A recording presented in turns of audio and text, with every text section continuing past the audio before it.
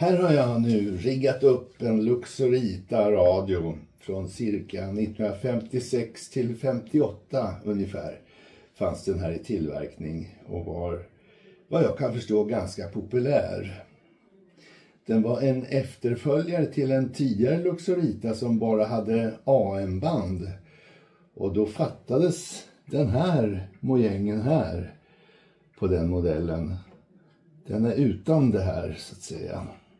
Och så valde man då på den här innerratten här så kunde man då se här instruktioner på skalan. Eh, var, så att man kunde ställa in mellan mellanvåg, långvåg och kortvåg. Med den där. Och så rattar man på en enda skala här. Eh, den här finns också i en version där den här glasskalan här, att eh, den är lite smalare, går på den där höjden ungefär. Den här radion är väldigt lätt att ta isär. Men den är lite avvikande från nästan alla andra bordsradioapparater. Att eh, man skruvar loss den där skruven där och så skruvar man loss fyra skruvar här under radion. Och sen är det bara att dra chassit framåt, ut ur höljet. Så lätt är det faktiskt. Ja, och den här har jag bytt kondensatorer i och lagt ner en väldig massa timmar på det. Men det är ju så när man håller på med så här gamla radioapparater att riktigt 100% bra blir de ju aldrig. I alla fall, de blir det väldigt sällan. Så att den här radion den är igång nu och den borde ljuda nu men det gör den inte utan den är tyst. Och eh, det beror på att man det är ett glapp här i den senaste budgeten. den funktionen. Och det var ju många som var trycker in, nej, släppte taget där. regeringen försökte. Då har min svåger kommit på den fantastiska idén. Nu ska vi se var jag har den någonstans. Nu försvann den. Så dumt. Ja, just det. Det där kan man reparera på ett svågermässigt sätt, nämligen så här. el den producerar och effekten och så. Då fungerar radion. Så åt olika håll. Ni vet att man säger att när det är landbaserad vind så blir det ingen el när det ehm, blåser. Det är tyvärr så. Och om jag skulle försöka göra någonting åt det här då skulle jag liksom behöva riva i stort sett hela radion för att få loss det här tangentsystemet och komma åt och justera det och så. Så att jag har helt enkelt fått ge upp. Den här blir aldrig riktigt perfekt den här radion. Men den ser ju trevlig ut i alla fall. Jag tänkte jag skulle då försöka ge lite instruktioner om hur man kan då felsöka en sån här radio. Om vi tänker oss att den här kommer in och vi, vi får inget ljud ur den. Vi får inte in någon mellanvåg, långvåg, kortvåg och inget FM. Eh, vad ska man göra åt det då? Då så kan jag vända på den här radion och visa upp att jag har gjort en liten specialgrej med den här. Då ska vi se här om det här går bra. Så. Och den där ska inte komma in till sladden. Ja, det är lite glatt där. Ja. Sådär. Och den är het så bara attan. Men eh, jag brände mig inte. Sådär, jag vet inte om det syns i kameran det här. Men att eh, jag har alltså fixat en, en sladd så här. Eh, där jag kan då ganska lätt då undersöka just LF-röret. I den här radion så är det bara ett LF-rör. Ett ECL 82. Och EC det är ju den här trioden och L det är ju den här pentoden, effektpentoden då. Så det här är en förförstärkare med stiftet där GT triod, gallertriod står GT för. Eh, och där har vi då, ska vi se, det är stiftet som är där ja. Nu brummar jag. Där. Det där kallas för att brumma. Och då petar jag där och då kommer alla de störningar som jag fångas upp av genom att jag är i ett rum där det är massa elektriska saker så kommer jag då avge en hel del av de där störningarna till det här stiftet. Och det här förstärkarsteget här, det har en väldigt stor förstärkningsförmåga av små signaler och förstärka upp dem så de blir starka. Och eh, efter det här anoden här på trioden så går det ju via kondensator till gallret för pentoden.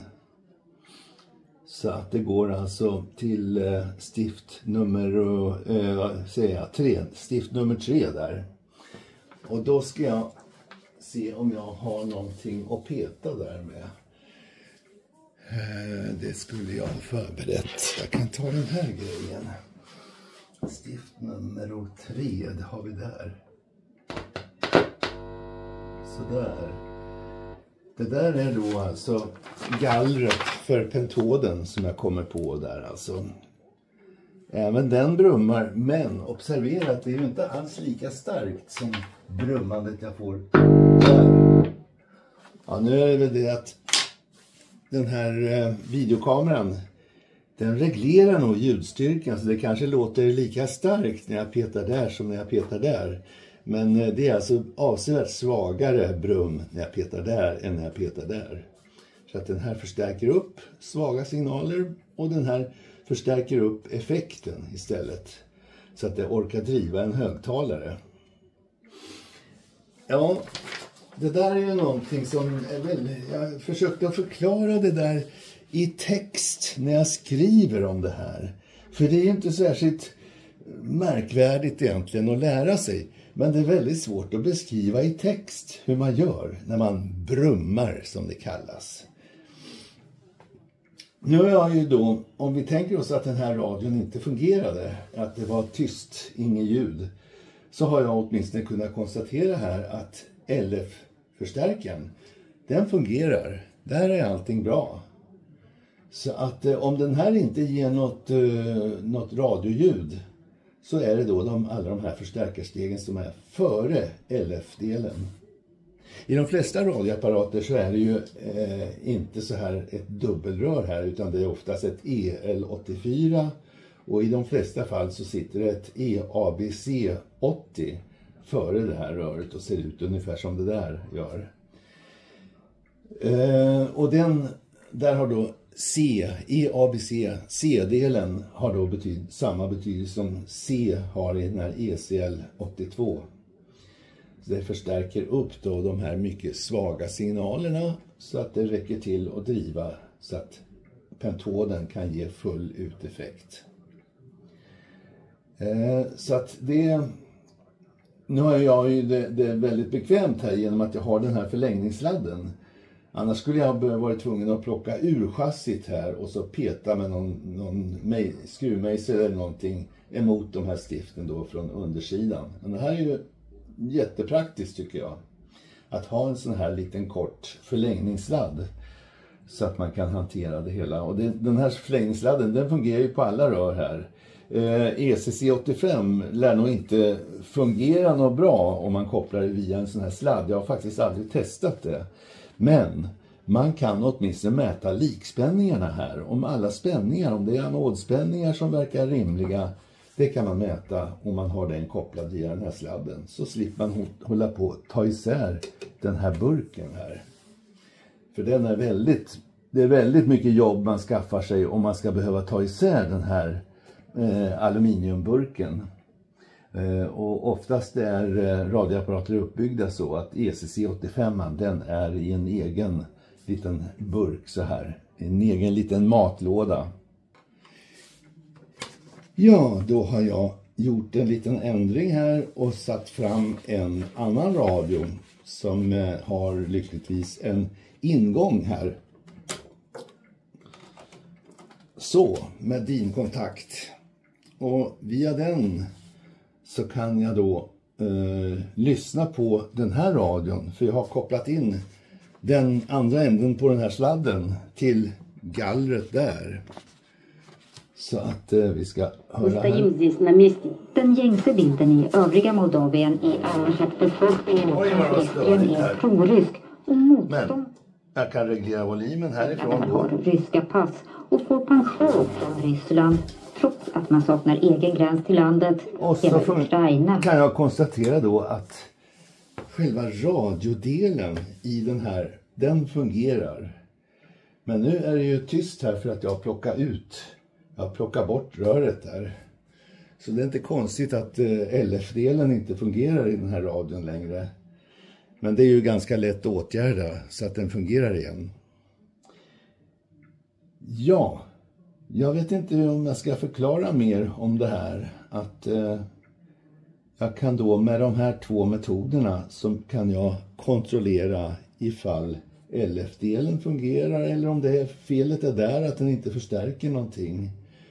Och om den förstärker, som den gjorde i det här fallet, så finns då felet sannolikt tidigare.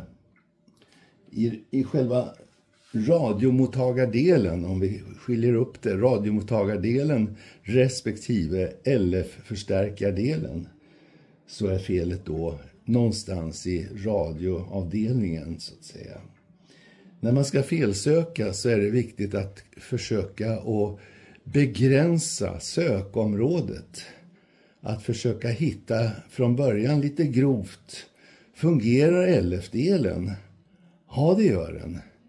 Jaha, men då är det någonstans tidigare än LF-delen som felet finns.